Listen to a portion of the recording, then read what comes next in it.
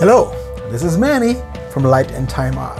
And this is part two of drink and barware. And today we're going to talk about customizable items for your bar. And they make a great gift too. So let's start with this USB powered light box with your own bar name on it. And I have a matching set of coasters. Both have the iconic martini glass with the olive and your bar name. You can also have this pin-up girl sitting in a martini glass, same thing, customizable with your bar name on it. And last but not least, a total customizable coaster set based on the picture that you sent me.